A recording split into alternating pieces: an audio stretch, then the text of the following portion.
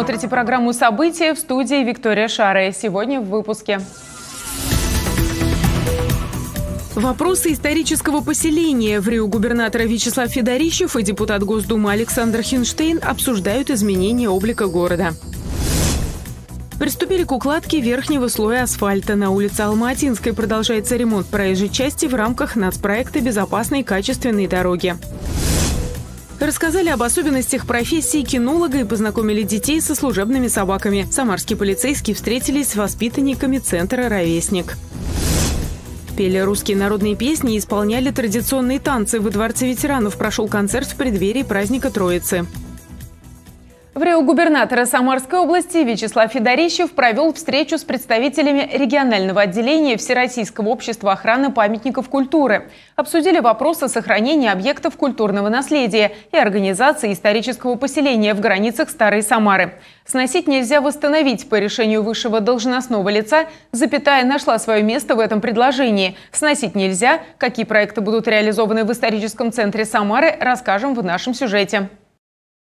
Новая жизнь для старой Самары. В Рио губернатора Самарской области Вячеслав Федорищев и депутат Государственной Думы Александр Хинштейн встретились с теми, кто стоит на страже исторического зодчества и архитектурного наследия города. Обсудили вопросы исторического поселения в Старой Самаре и развития территорий. Уникальность исторического поселения Самары в том, что сохранилась вся планировочная структура старого города, отметили на встрече. Слаженная работа общественников и властей позволит добиться поставленных целей. Я очень рад, что у нас в регионе, в Самаре, есть команда неравнодушных, активных, инициативных и принципиальных людей. Верю, что у нас в регионе будет системная совместная работа в этой защитной общественности власти в интересах людей, в развитии нашей любимой Самары. После презентации проектов развития городского пространства Старой Самары в Рио губернатора Вячеслав Федорищев прямо на встрече принял ряд важных решений и раздал поручения присутствующим. Что мне к вам поручение?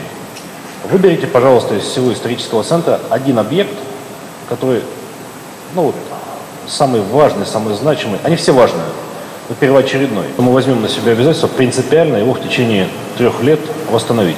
Мы как правительство, команда правительства, те люди, которые неравнодушны, работают вместе с нами. Это всего лишь первый шаг, за этим будет стоять очень-очень много работы. Но мы это вместе будем делать вместе с вами. Помимо восстановления объектов архитектуры, важны механизмы их наполнения. Глава региона поручил собравшимся предложить варианты развития. По словам председателя ВАПИК Самарского региона Нины Казачковой, результаты встречи превзошли все ожидания. У нас город-миллионник, и мы из их несколько всего таких городов в России, где столько деревянных деревянного зодчества, сохраненного. Понятно, что оно не новое, но ему 100-140 лет. Понятно, что им нужно заниматься. Но вот настал как раз такой счастливый этап, когда мы все с вами можем друг друга поздравить и начнем просто работать и заниматься. Цель исторического поселения – не превратить центр города в музей, а сделать его функциональным и привлекательным для туристов и потенциальных инвесторов. Галина Топилина, Константин Головин. События. В Рио губернатора Самарской области Вячеслав Федорищев провел заседание правительства. Обсудили реализацию национальных проектов. Их в регионе 15. С 2024 года область участвует в новом нацпроекте «Беспилотные авиационные системы». В рамках нацпроекта «Наука и университеты» ведется строительство международного кампуса IT-направления. На контроле реализации нацпроектов 149 показателей. В рамках нацпроекта образования 39 школ региона до 15 августа будут оснащены компьютерами, принтерами, интерактивным оборудованием. В рамках проекта «Патриотическое воспитание граждан Российской Федерации» 280 школ региона будут оснащены государственной символикой. «Ты предприниматель» серии семинаров под таким названием стартовала в Самаре. Участники узнают, как зарегистрировать бизнес, какую систему налогообложения выбрать и как сформировать свой бизнес-план. После этого они смогут претендовать на грант в размере полумиллиона рублей. Подробности в нашем сюжете. Данил Ахмедшин пока самозанятый, но хочет открыть свой бизнес. По образованию IT-специалист. Разрабатывает мобильные приложения для разных сфер, от медицины до строительства. Сначала мы самозанятого открыли, посмотрели, как работает, не работает схема. И по итогу вот э, хотелось бы открыть ИП и в перспективе уже получить э, грант здесь конкретно. Поэтому сюда пришел сегодня изучить, э, какие именно критерии нужны. О собственном бизнесе мечтает и Никита Трондин. Он заканчивает медуниверситет и уверен, что сейчас люди очень нуждаются в квалифицированной помощи психологов, которую готов оказывать через мессенджер. Наш проект это Soul, это платформа по поиску психологов в Telegram. Масштабируется как раз наш проект, потому что деньги могут помочь нам в нашей, скажем так, раскрутке и масштабированию. Вот. И плюс, ну, сами понимаете, пока что мне 22 года, денег не так много, и для того, чтобы развить его до какого-то определенного уровня, бюджета личного не хватает. Сегодня для начинающих бизнесменов прошел первый из 12 семинаров курса «Ты предприниматель». На них участники узнают, как зарегистрировать бизнес, какую систему налогообложения выбрать и как сформировать свой бизнес-план. Старт очередной кампании дало региональное министерство экономического развития и инвестиций, которое ежегодно предоставляет грантовую поддержку молодым предпринимателям. Возраст участников от 14 до 25 лет. Ребята до 25 лет – это совсем начинающие предприниматели, и в рамках обучения мы как раз прорабатываем с ними ну, все основные точки развития бизнеса. Это и вопросы налогообложения, и вообще в целом финансовой грамотности, учета, отчетности, работы с сотрудниками, работа с целевой аудиторией. Просчитываем финансовую модель, бизнес-план помогаем составить. В качестве спикеров приглашены предприниматели со стажем не только из Самарской области, но и из других регионов. По итогам занятий участникам предстоит защитить свой проект. После этого они получат сертификат и смогут претендовать на грант в размере полумиллиона рублей на развитие бизнеса. Виктория Шара и Николай Епифанов. События. В России стартовала приемная кампания «Высшие учебные заведения». Для поступающих подготовлено более 620 тысяч бюджетных мест. Подать документы можно как лично, так и с помощью сервиса поступления в ВУЗ онлайн на портале госуслуг. Прием продлится до 25 июля. Зачисление в ВУЗы льготников, целевиков, а также победителей и призеров Олимпиад пройдет с 28 по 30 июля. Основной этап зачисления для поступивших по ЕГЭ с 3 по 9 августа. Нововведением этого года станет обновленный механизм целевого набора через портал «Работа в России». В областной столице состоялась Всероссийская научно-практическая конференция с международным участием «Уголовно-исполнительная система. Законодательство, политика, процесс». Ее приурочили к 30-летию Самарского юридического института ФСИН России. География участников конференции насчитывает более 25 регионов с участием представителей из Казахстана и Республики Беларусь. Репортаж наших корреспондентов. Теоретики и практики, ученые-правоведы и работники правоохранительных и надзорных органов. Около ста участников из разных городов России и стран ближнего зарубежья собрались в Самаре на конференции «Уголовно-исполнительная система. Законодательство, политика, процесс». Конференцию посвятили памяти ученого, заслуженного юриста России профессора Олега Филимонова и приурочили к 30-летию со дня образования Самарского юридического института ФСИН России. Среди тем, которые обсудили, развитие института пробации, который появился в стране с этого года. Система предполагает возвращение к нормальной жизни в обществе осужденных, а также тех, кто приговорен к наказанию, не связанному с лишением свободы и условно-досрочно освобожденных. В настоящий момент э, не так много осужденных, которые обратились э, э в уголовно-исполнительной инспекции да, за помощью в рамках пробации. Но со временем данные осужденных, данное количество осужденных будет расти, и осужденные будут обращаться за определенной помощью. Одна из тем – социализация женщин после освобождения из мест лишения свободы. Мы вместе с курсантами, с обучающимися проводили исследования у нас в ИК-1 у ФСИН России по Вологодской области, где отбывают наказание женщины впервые осужденные. И э, там были и анкеты, и интервью, и беседы. И при том многообразии, которое было, были в ответах, мы все-таки выделили три основных группы. Вот закон о пробации, он помогает, потому что здесь будет действовать три вида пробации, но в данном случае у нас здесь пенитенциарная и постпенитенциарная пенитенциарная пробация. Завершилась конференция награждением сотрудников Института ФСИН. Им вручили благодарности за высокие достижения в профессиональной деятельности, вклад в развитие науки и образования, а также подготовку квалифицированных специалистов в сфере юриспруденции. Августина Охременко, Николай Епифанов. События. Их служба и опасна, и трудна, поэтому о ней важно рассказывать детям. В Самаре ребята встретились с сотрудниками ГАИ и кинологического центра. Что рассказали подрастающему поколению блюстители порядка, узнала Полина Чулюкова. Патрульная машина, мотоциклы и служебные собаки. Сотрудники управления МВД России по Самаре побывали в гостях у ребят из комплексного центра социального обслуживания «Ровесник». Рассказали об особенностях профессии и ответили на интересующие вопросы. Мы рассказываем подрастающему поколению,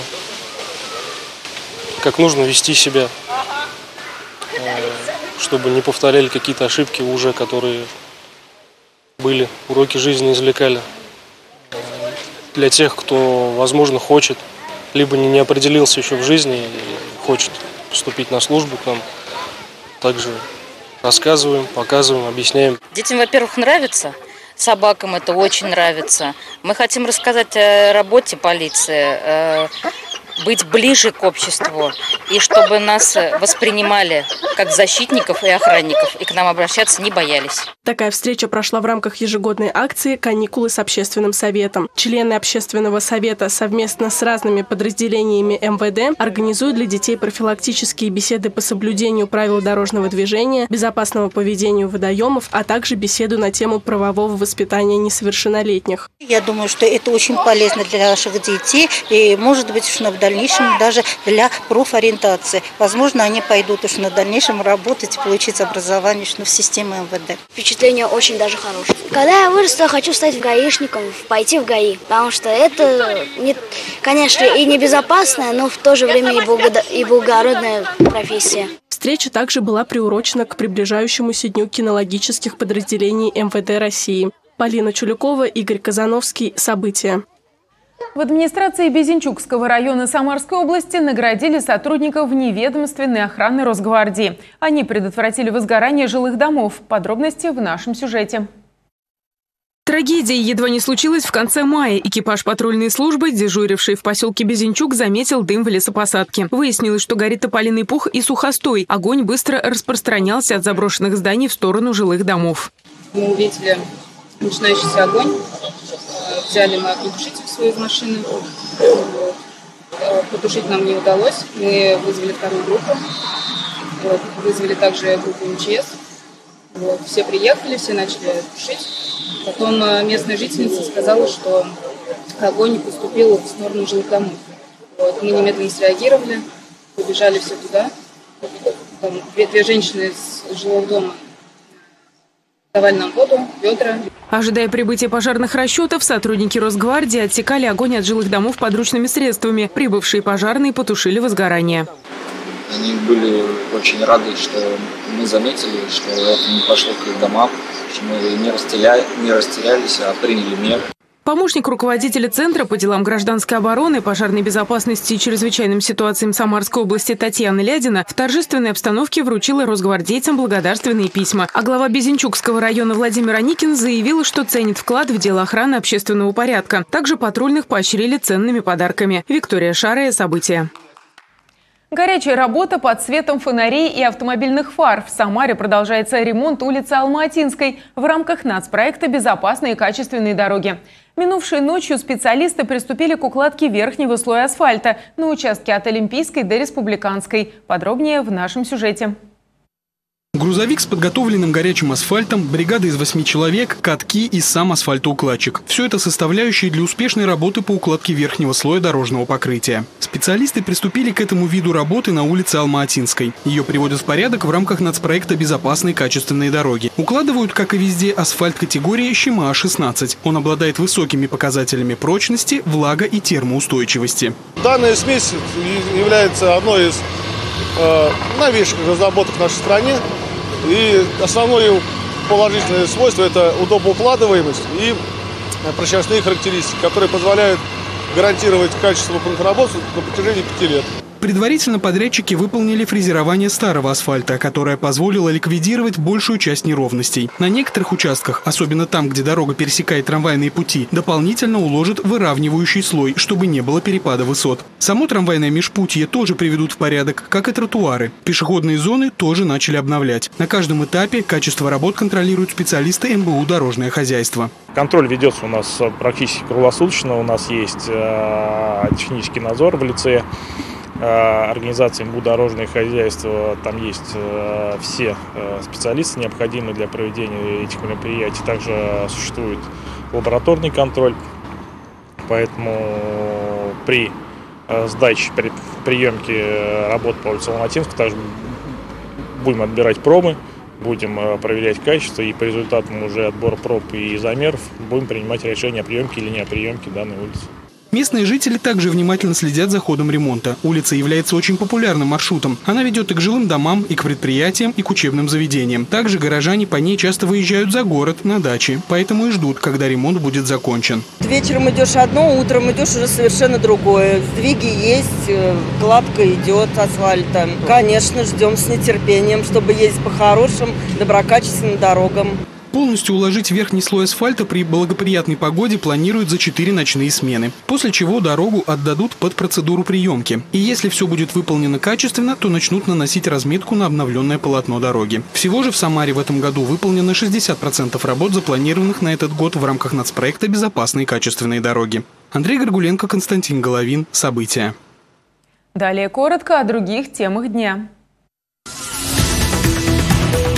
В Госдуме рассмотрят законопроект, призванный сделать донорство в России более популярным. Авторы инициативы предлагают приравнять доноров крови и ее компонентов к волонтерам. Это даст им возможность получать те меры поддержки, которые положены добровольцам. Среди таких мер оплата либо возмещение ряда расходов, поощрение и награждение за волонтерскую работу, финансовая, организационная, информационная, консультационная, имущественная и методическая поддержка со стороны органов власти. Число заявок на льготную ипотеку в июне резко выросло у некоторых банков и брокеров. Прирост составил до 50%. На ипотеку с господдержкой в первой половине июня было отправлено на 70% больше заявок, чем в первые две недели апреля. По данным аналитиков, такой скачок спроса произошел на фоне новостей о завершении льготной ипотеки под 8% на строящееся жилье и об изменении условий семейной ипотеки. Причем самый высокий рост спроса эксперты наблюдают на IT-ипотеку. С 1 июля вступает в силу закон, который предусматривает индексацию на 20% госпошлин за выдачу загранпаспорта. Среди прочего, пошлина на биометрический загранпаспорт для взрослых вырастет до 6 тысяч рублей, а для детей до 3 тысяч рублей. Увеличены суммы пошлины на визу на въезд в Россию и для многократного пересечения границы страны. Также выросла пошлина за выдачу вида на жительство и за выдачу разрешений на привлечение и использование иностранных работников. Полет эконом-классом по России подорожал за последнюю неделю почти на 4%. С начала года рост составил свыше 20%, сообщает Росстат. По данным службы статистики, изменилась и средняя стоимость путевок в дома отдыха и пансионаты. На прошлой неделе стоимость выросла на 1,5%. Поездки в санатории подорожали на 0,7%. Проживание в 4-5 звездочных гостиницах на 1%. С 22 июня увеличит количество авиарейсов из Самары в Сочи. Теперь их станет 27 в неделю. Дополнительные полеты будут по вторникам, четвергам и субботам. Вылет из Самары в 04.05, прибытие в Сочи в 06.25. Обратно отправление в 21.15, посадка в пункте назначения в час 15. Как отметили в воздушной гавани, на маршруте работают 5 авиакомпаний. Напомним, что самарцы могут улететь из Курмача прямым рейсом в 26 российских городов и в 11 стран.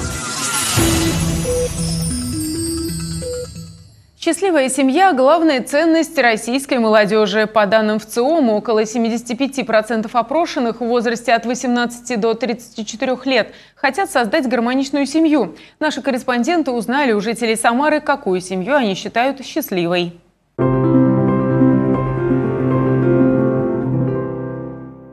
Счастливая семья – это мужчина, женщина и дети, где каждый э, находит время своим увлечением и при этом с огромным желанием проводит время друг с другом. Счастливые дети, все улыбаются, у всех все хорошо. Дружная, веселая, совместные походы, там, я не знаю, кто чем увлекается секции. Счастливая семья, во-первых, должна быть дружной, во-вторых, э, принимать, как говорится, во всех мероприятиях э, участие, когда, которые проводятся для семьи. Ну, примерно вот так вот. Главное, чтобы все ну,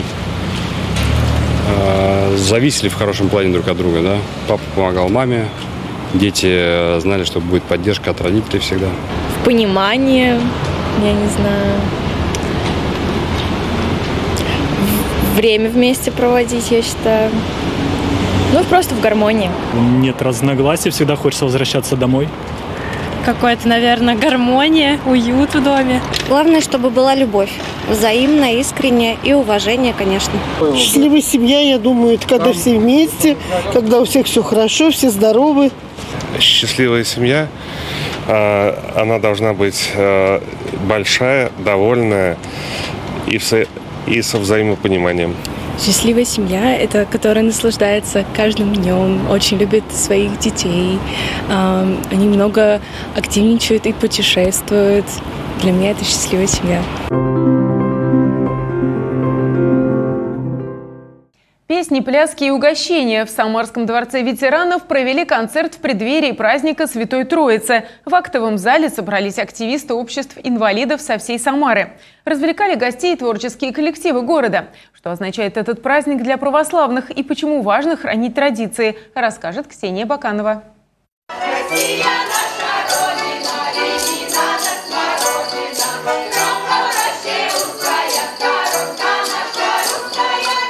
Дружно, весело и душевно. В Самарском дворце ветеранов отметили праздник Святой Троицы. Это большое событие для любого верующего человека. Праздник символизирует три ипостаси Бога и является одним из ключевых в христианстве. Троица наступает на 50-й день после Пасхи и предшествует Петрову посту. Но это наш традиционный праздник, и его никак нельзя забывать. Раньше он назывался праздник русской березки, да? а теперь уже, как говорится, ближе стал он уже и к православию. Вот, и надо пропагандировать все вот это наше русское и как можно чаще и больше делать русских традиций. Праздник Святой Троицы отмечают во Дворце ветеранов больше 10 лет. Обычно народные гуляния проходят на улице. Однако в этом году из-за жары формат было решено поменять. В актовом зале Дворца для зрителей выступили творческие коллективы. Сегодня это возможность встретиться, собраться, увидеть друг друга. И э, вот праздник Святой Троицы – это праздник чистоты, скромности, обновления. Я сама родом из деревни, и я помню те моменты, когда э, бабушки ходили по улице с березкой, э, славили природу, славили наши традиции, устои. Встречи на площадке Самарского дворца ветеранов проходят регулярно и по самым разным поводам. Бабульки там тоже поддерживают там, что по телефону, когда они вот так тут видятся, радуются в глазах у всех. Молодость сразу появляется. И вот, так что вот очень даже довольны. Нас встречают здесь все время. Очень хорошо. Прям отлично. Спасибо.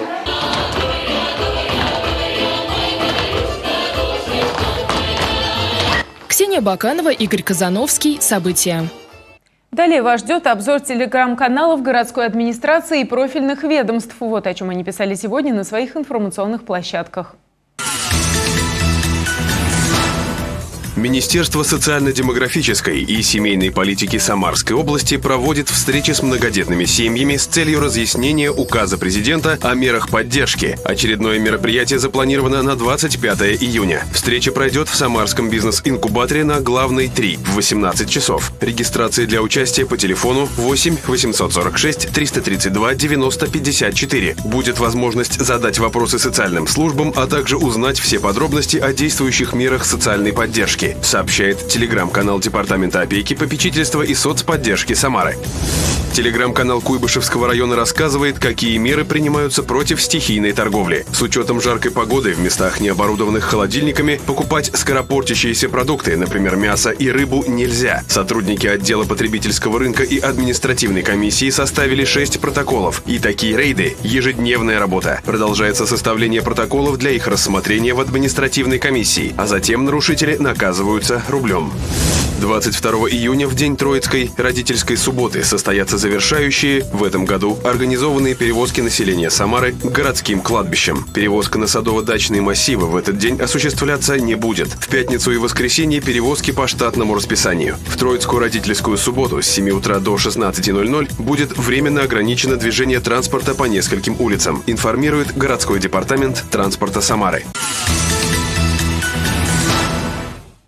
На этом наш выпуск подошел к концу. Продолжайте следить за новостями на официальном сайте Самара ГИС, в нашем телеграм-канале, на страничках в Одноклассниках и ВКонтакте. Выпуски программы смотрите на видеохостингах и в социальных сетях. Всего вам доброго и до встречи!